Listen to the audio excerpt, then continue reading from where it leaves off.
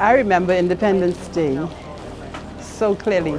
The excitement was where we're going to be that night when the flag goes up. Everybody had to get to the fort because you had to find a spot because there was not going to be any vacant spot on the fort. They had official chairs for the officials to sit in, but Bahamians like us has to get up there and get on the grounds and find our spot and cheer it on and it was just amazing to see our flag go up and the breeze blow it. It was just amazing. It's it's emotional. Mm -hmm. It's emotional. Mm -hmm. That's what I could say. Proud to be Bahamian. I was older than the average child to say they didn't know what was happening. Mm -hmm. So I knew what was happening.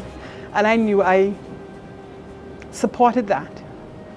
And so when it happened, it really was emotional that we became independent, no fuss, no row. We just turned over government and it became about us.